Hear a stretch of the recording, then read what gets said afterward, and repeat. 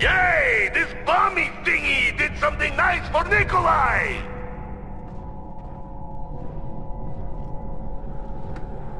Oh, it is so heavy. That means very good things.